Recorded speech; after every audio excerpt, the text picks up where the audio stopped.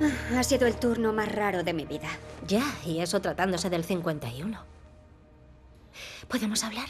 Es por mi comentario sobre Carver, lo siento, no sé por qué dije eso.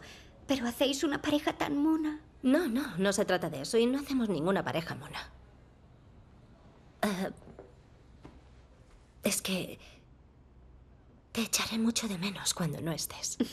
Yo también a ti, pero no será más de un mes. Lo sé, pero no me funcionó intentar contenerme con lo de Galo. Me convertí en un volcán desastroso de llorera, totalmente incapaz de expresar lo que quería.